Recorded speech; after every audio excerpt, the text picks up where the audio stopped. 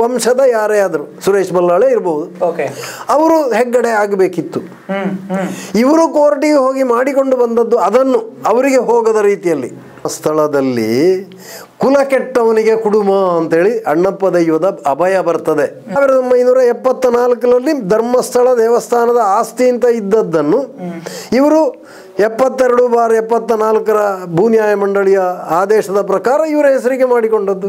ಇಂಥ ಜನರು ಆಡಳಿತ ನಡೆಸುವಂತ, ಇಂಥ ಇವರು ದೇವರದಲ್ಲಿ ಬಂದ ಡುಬ್, ಡಬ್ಬಿಯ ದುಡ್ಡನ್ನು ತಮ್ಮ ಸ್ವಾರ್ಥಕ್ಕೆ ಉಪಯೋಗಿಸುವಂತ, ಜನರ ಆಡಳಿತದಲ್ಲಿ ಇರುವಂಥ ದೇವಸ್ಥಾನವನ್ನು ನೋಡಿದರೆ ಯಾರಿಗಾದರೂ ಭಕ್ತಿ ಬಂದೀತ? ಒಮ್ಮೆ ದತ್ತುಪುತ್ರ ಒಮ್ಮೆ ಒರಿಜಿನಲ್ ಪುತ್ರ. ನ ಸಂತತಿಯವರು ಅಧಿಕಾರ ನಡೆಸಿಕೊಂಡು ಬರಬೇಕು ಅನ್ನುವಂಥ ಆದೇಶ ಆಗಿದೆ. ಇದಕ್ಕೆ ತಪ್ಪಿದಲ್ಲಿ ಶಾಶ್ವತವಾಗಿ ನಿಮ್ಮ ಕೈಯಿಂದ ಅಧಿಕಾರ ಕಳೆದು ಹೋಗುತ್ತೆ ಅನ್ನುವಂಥ ಆದೇಶವನ್ನು ಅಣ್ಣಪ್ಪ ಕೊಟ್ಟಿದ್ದಾನೆ ಅವರು ಪ್ರಭಾವಿ ವ್ಯಕ್ತಿ. ಅವರು ಹೇಳಿದರೆ ಜನ ನಂಬ್ತಾರೆ ಅಂತ ಅವರ ತಲೆಯಲ್ಲಿದೆ.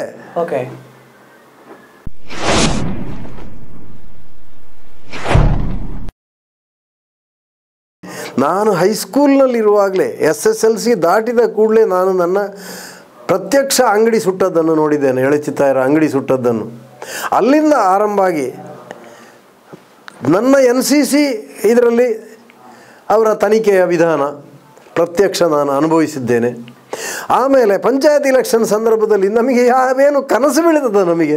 ವೀರೇಂದ್ರ ಹೆಗ್ಡೆ ಅವ್ರ ಹತ್ರ ಹೋಗಿ ಯಾವುದೋ ಒಬ್ಬ ವ್ಯಕ್ತಿ ಭೂಮಾಲಕ ಊರಿನ ಪ್ರ- ಪ್ರಮುಖ ವ್ಯಕ್ತಿಯಲ್ಲಿ ಹೋಗಿ ಕಾಲಿಗೆ ಅಡ್ಡ ಬಿದ್ದು ಪಂಚಾಯತ್ ಚುನಾವಣೆಗೆ ಕಂಟೆಸ್ಟ್ ಮಾಡಬೇಕು, ನಮಗೇನು ಕನಸು ಬೀಳ್ತದ ಇಂದು ಇದ್- ಇದನ್ನು ನೋಡಿದರೆ ಯಾರಿಗಾದ್ರೂ ದೇವರ ಮೇಲೆ ಭಕ್ತಿ ಬಂದೀತಾ? ಇಂಥ ಜನರು ಆಡಳಿತ ನಡೆಸುವಂತ ಇಂಥ ಇವರು ದೇವರದಲ್ಲಿ ಬಂದ ಡುಬ್ ಡಬ್ಬಿಯ ದುಡ್ಡನ್ನು ತಮ್ಮ ಸ್ವಾರ್ಥಕ್ಕೆ ಉಪಯೋಗಿಸುವಂತ ಜನರ ಆಡಳಿತದಲ್ಲಿ ಇರುವಂತಹ ದೇವಸ್ಥಾನವನ್ನು ನೋಡಿದರೆ ಯಾರಿಗಾದ್ರೂ ಭಕ್ತಿ ಬಂದೀತ? ಅವರ ಹೆಸರಲ್ಲಿ ಇದೆ ಸರ್ ಜನರ ಹೆಸರಲ್ಲಿ ಇದರ ದೇವಸ್ಥಾನ ದೇವರ ಹೆಸರಲ್ಲಿ ಇಲ್ಲ ಸರ್? ದೇವರ ಹೆಸರಲ್ಲೇ ಇತ್ತು. ದೇವರ ಹೆಸರಲ್ಲಿ ಇದ್ದದ್ದನ್ನು ಹೌದು.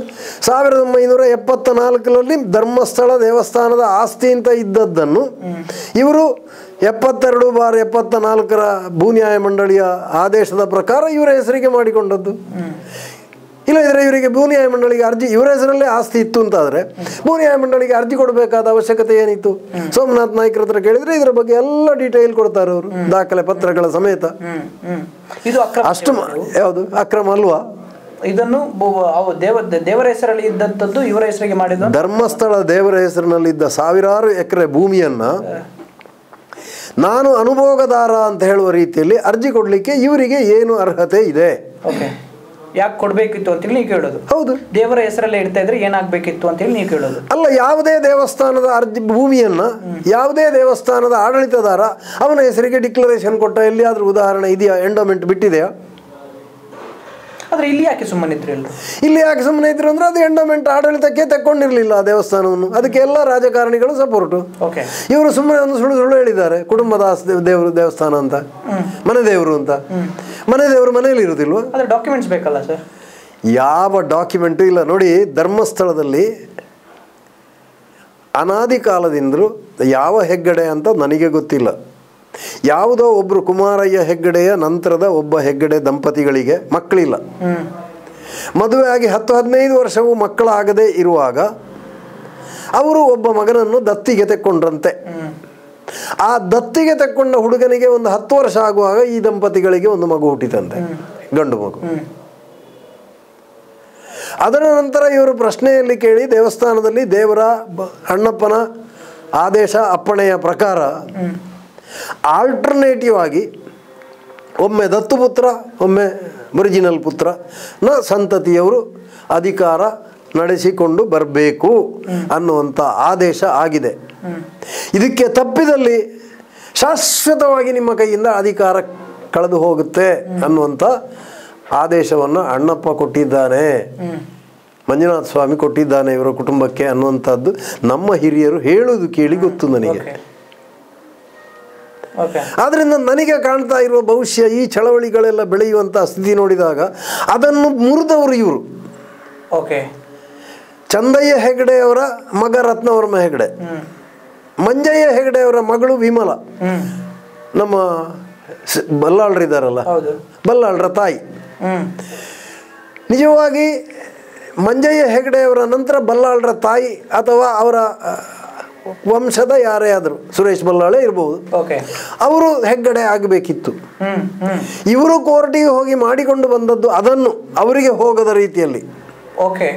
ಹೊರತು ಹೌದು. ಹೊರತು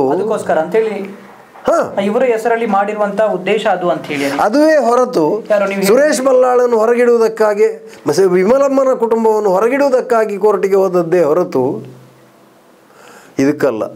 ಸರ್ ಈ ದೇವರ ಹೆಸರಲ್ಲೂ ಒಂದು ಕುಟುಂಬ ಎಲ್ಲರೂ ದೇವರು ಅಂತ ಹೇಳಿದ್ರೆ ಎಲ್ಲರೂ ಒಟ್ಟಾಗಬೇಕು ಸಮಾನರು ಅಂತೇಳಿ ಯೋಚನೆ ಮಾಡುವವರು ದೇವರು ಎಲ್ಲರ ಒಂದು ಕುಟುಂಬವನ್ನು ಬೇರೆ ಮಾಡುವಂತದ್ದು ಅಲ್ಲ ದೇವರು ಒಂದು ಮಾಡುವಂತವರು ಸರ್. ಹೌದು. ಅಂಥದ್ರಲ್ಲಿ ಇವರು ಕುಟುಂಬವನ್ನೇ ಬೇರೆ ಮಾಡಿ ನೀವು ಹೇಳೋ ಎಂತ ಹಾಗಾದ್ರೆ ಅವರಿಗೆ ದೇವರ ಮೇಲೆ ಭಕ್ತಿ ಇದೆ ಅಂತ ನಿಮಗೆ ಬರ್ತದ ಮನಸ್ಸು ಇಲ್ಲ ಅಂತ ಹೇಳಲಿಕ್ಕೆ ಮನಸ್ಸು ಬರ್ತದ? ಅಲ್ಲ ನೀವು ಹೇಳೋ ಪ್ರಕಾರ ಸರ್ ಒಂದು ವೇಳೆ ಅವರು ಬದಿಗಿಟ್ಟಿದ್ರೆ ಆ ರೀತಿ ನೋಡಿ ಧರ್ಮಸ್ಥಳ ಧರ್ಮಸ್ಥಳದಲ್ಲಿ ಕುಲ ಕೆಟ್ಟವನಿಗೆ ಕುಡುಮ ಅಂತೇಳಿ ಅಣ್ಣಪ್ಪ ದೈವದ ಅಭಯ ಬರ್ತದೆ.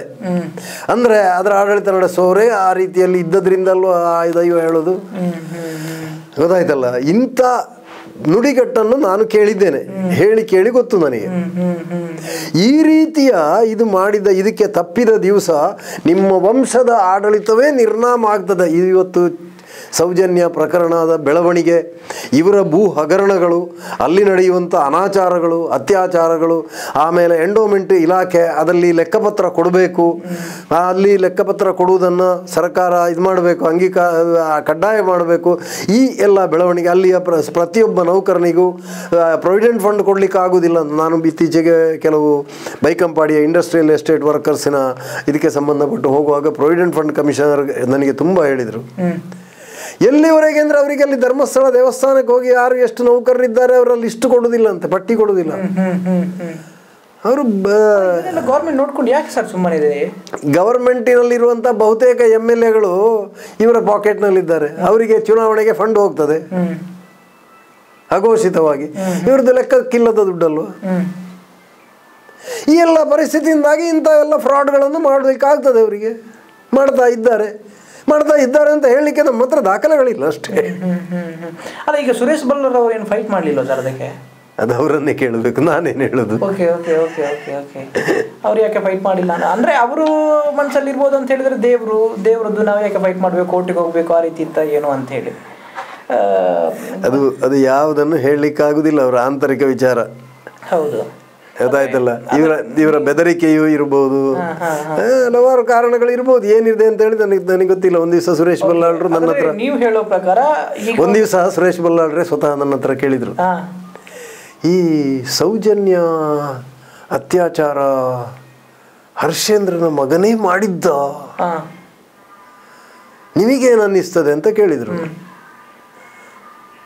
ನನಗೆ ಏನು ಅನ್ನಿಸ್ತದೆ ಅಂತ ನಾನು ಹೇಳ್ಬೋದು ಹೇಳೋದಕ್ಕೆ ಸಾಕ್ಷ್ಯಾಧಾರಗಳನ್ನು ಕೇಳುವುದಿಲ್ಲ ಅಂತಾದರೆ ಅದು ಸತ್ಯ ಅಂತ ನಾನು ಹೇಳ್ಬೋದು ಅಂತ ಹೇಳಿದೆ. ಮತ್ತೇನು ಹೇಳಬೇಕು ನಾನು? ಯಾಕೆಂದರೆ ಈ ಈ ನಿಶ್ಚಲ್ ಜೈನ್ ಆ ದಿವಸ ಆ ಆಸ್ಪತ್ರೆ ಇದೆಯಲ್ಲ ಪ್ರಕೃತಿ ಚಿಕಿತ್ಸೆ ಕೇಂದ್ರ ಅದರ ಪಕ್ಕದಲ್ಲಿ ಇವರೆಲ್ಲ ಶ್ರೀಮಂತರ ಮಕ್ಕಳು ಆಟ ಆಡುವಂತ ಒಂದು ಕ್ರಿಕೆಟ್ ಮೈದಾನ ಉಂಟಂತೆ. ಆ ನಾಲ್ಕು ಗಂಟೆ ಹೊತ್ತಿಗೆ ಕ್ರಿಕೆಟ್ ಮೈದಾನ ಆಟ ಆಡುವಲ್ಲಿ ಆಡಿಕೊಂಡಿದ್ದ ನಾಲ್ಕು ಗಂಟೆ ಆಗುವಾಗ ಈ ಸುದ್ದಿ ಬಂದು ಅಲ್ಲಿಂದ ಎದ್ಕೊಂಡು ಹೋಗಿದ್ದಾನೆ. ಯಾರು ಸರ್ ಹೇಳಿದ್ದು?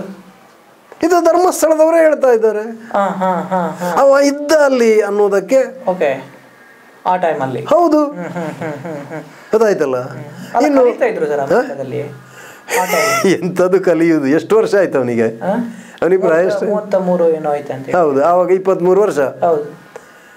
ಇವರ ಮ್ಯಾನೇಜ್ಮೆಂಟಿನ ಕಾಲೇಜ್ ಸ್ವಾಮಿ ಅದು. ಧರ್ಮಸ್ಥಳದ ಬಂಡವಾಳ ಹೂಡಿಕೆ ಇರುವಂಥ ಕಾಲೇಜ್ ಅದು. ಅವಾಗ ಅವನಿಗೆ ಎಷ್ಟು ಪಾಸ್ಪೋರ್ಟ್ ಉಂಟು ಅಂತ ಏನಾದರೂ ಇವರು ಪೊಲೀಸರು ತನಿಖೆ ಮಾಡಿದಾರ? ಹೇಳಿ ಕೇಳಿ ಅವರ ಮೂಲಗಳಿಂದ ನಮಗೆ ಸಿಕ್ಕುವ ಸುದ್ದಿ ಪ್ರಕಾರ ಅವನಿಗೆ ಧರ್ಮಸ್ಥಳದ ಅಡ್ರೆಸ್ನಲ್ಲಿ ಒಂದು ಪಾಸ್ಪೋರ್ಟು ಬೆಂಗಳೂರಿನಲ್ಲಿ ಚಿಕ್ಕಪ್ಪನ ಮನೆಯ ಅಡ್ರೆಸ್ನಿಂದ ಒಂದು ಪಾಸ್ಪೋರ್ಟು ಆಮೇಲೆ ಬೊಂಬಾಯಿಯಲ್ಲಿ ಅವನು ಕಲಿತಾ ಇದ್ದದ್ದು ಹೌದು ಎಂ ಬಿ ಎನ ಅಲ್ಲಿಂದ ಒಂದು ಪಾಸ್ಪೋರ್ಟ್ ಮೂರು ಕಡೆಯಿಂದ ಪಾಸ್ಪೋರ್ಟ್ ಇದೆ. ಓಕೆ ಅಲ್ಲ ಪಾಸ್ಪೋರ್ಟ್ ಅನ್ನುವಂಥದ್ದನ್ನು ಜನ ಮಾತನಾಡ್ತಾ ಇರೋದು ಅವರ ಸಮೀಪವರ್ತಿಗಳೇ ಮಾತನಾಡ್ತಾ ಇರೋದು ನನಗೆ ಗೊತ್ತು. ಹಾಗಾದ್ರೆ ಇಲ್ಲಿ ಅವರು ತೋರಿಸುವಂತದ್ದು ಆ ಸಮಯದಲ್ಲಿ ಅವನು ಅಲ್ಲೇ ಇದ್ದ ಅನ್ನುವಂತ ಇದ್ದ ಅನ್ನುವ ಪಾಸ್ಪೋರ್ಟ್ ಅನ್ನು ತೋರಿಸ್ತಾರೆ. ಎಲ್ಲವತ್ತು ಕೂಲಂಕುಷವಾಗಿ ತನಿಖೆ ಆಗಲಿ. ಒಂದು ವೇಳೆ ಪಾಸ್ಪೋರ್ಟ್ ಇದ್ರೆ ಅಲ್ಲೇ ಇದ್ರೆ ಅವನನ್ನು ಅಲ್ಲಿಂದಲೇ ಒಂದು ಫೋನ್ ಕಾಲ್ ಮಾಡಿಸ್ಬೋದಿತ್ತಲ್ಲ ಇವರಿಗೆ? ಯಾಕೆ ಮಾಡಲಿಲ್ಲ? ಮತ್ತೆ ಕೂತದ್ದಕ್ಕೆ ನಿಂತದ್ದಕ್ಕೆ ಅಪ್ಪನೂ ಹೇಳೋದಿಲ್ಲ ಅಮ್ಮನೂ ಹೇಳೋದಿಲ್ಲ ದೊಡ್ಡಪ್ಪ ಹೇಳೋದು ಬಾಲೆ ಮೂಲಿಜ್ಜಾಂಡ್ ಅಂತ. ಅಪ್ಪ ಅಮ್ಮ ಹೇಳ್ಬೇಕಿತ್ತು ಅಂತೇಳಿ. ಅವ್ರಿಗೇನಾಗಿದೆ ಹ್ಮ್. ಓಕೆ ಯಾಕೆ ಹೇಳುದಿಲ್ಲ ಅವರು?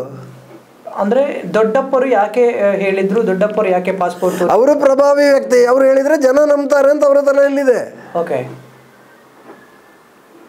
ಹ್ಮ್ ಹ್ಮ್ ಹ್ಮ್ ಹ್ಮ್ ಹ್ಮ್. ಅವರು ಹೇಳಿದ್ರೆ ಜನ ನಂಬುತ್ತಾರೆ ಅನ್ನುವಂಥ ರೀತಿಯಲ್ಲಿ ಇದು ಅವರು ಎಲ್ಲವೂ ಹೇಳೋದು ಯಾಕೆ? ಅಲ್ಲ ಅವರು ಜನರನ್ನು ನಂಬಿಸ್ಲಿಕ್ಕೆ. ಕರೆಕ್ಟ್ ನೋಡಿ ಈಗ ಈ ಸ್ವಸಹಾಯಕ ಸಂಘಗಳನ್ನೆಲ್ಲ ಮಾಡಿ ಸಾಲ ಕೊಟ್ಟು ಹದಿನೆಂಟು ಇಪ್ಪತ್ತು ಇಪ್ಪತ್ತೊಂದು ಪರ್ಸೆಂಟ್ ಸಾಲ ಕೊಡ್ತಾರಲ್ಲ ಸ್ವಸಹಾಯ ಸಂಘಗಳ ಸಾಲಕ್ಕೆ ಅಷ್ಟು ಪರ್ಸೆಂಟ್ ಬಡ್ಡಿ ಹಾಕುವುದಕ್ಕೆ ಕಾನೂನೇ ಇಲ್ಲ. ಆದರೂ ಕೂಡ ಧರ್ಮಸ್ಥಳದ ಹೆಸರಲ್ಲಿ ಜನ ನಂಬ್ತಾರೆ ಅಂತ ಇವರು ಬಡ್ಡಿ ವಸೂಲು ಮಾಡಿದ್ದಾರೆ ಇವರು ದೊಡ್ಡ ಜನ ಆಗಿದ್ದಾರೆ. ಅಲ್ಲ ಈಗ ಜನ ನಂಬ್ತಾರೆ ಅನ್ನುವಂತ ವಿಚಾರದಲ್ಲಿ ಈ ಪ್ರಭಾವಿ ವ್ಯಕ್ತಿ ಹೇಳಿದ್ದು ಜನನ ಕೇಳ್ತಾರೆ ಅನ್ನುವಂತ ವಿಚಾರದಲ್ಲಿ ಒಂದಷ್ಟು ತಪ್ಪಿದ್ದನ್ನು ತೋರಿಸುವಂತದ್ದು ಎಷ್ಟು ಸರಿ ಹಾಗಾದ್ರೆ? ಸರಿ ತಪ್ಪನ್ನು ನಿಷ್ಪಕ್ಷಪಾತವಾಗಿ ತನಿಖೆ ಮಾಡುವುದಕ್ಕೆ ತನಿಖೆಗೆ ಅವರು ತಯಾರಾಗಲಿ. ಸೋಮನಾಥ್ ನಾಯ್ಕರು ಅದನ್ನೇ ಅಲ್ವಾ ಕೇಳೋದು? ಕರೆಕ್ಟ್ ಸರ್ ನಮ್ಮ ಸೊಳ್ಳೆಯನ್ನು ಕೂಡ ಕೊಲ್ಲೋದಿಲ್ಲ ಸರ್ ಅವರು. ಯಾರು? ವೀರೇಂದ್ರ ಹೆಗ್ಡೆ ಅವರು ಹೇಳ್ತಾರೆ. ಸೊಳ್ಳೆಯನ್ನು ಬದುಕಲಿಕ್ಕೆ ಬಿಟ್ಟರೆ ಜನರಿಗೆ ಉಪದ್ರವೇ ಜಾಸ್ತಿ. ಜನರನ್ನು ಬದುಕಲಿಕ್ಕೆ ಬಿಡ್ಲಿ ಅವರು. ಜನರನ್ನು ಕೊಲ್ತಾ ಇದ್ದಾರಲ್ಲ?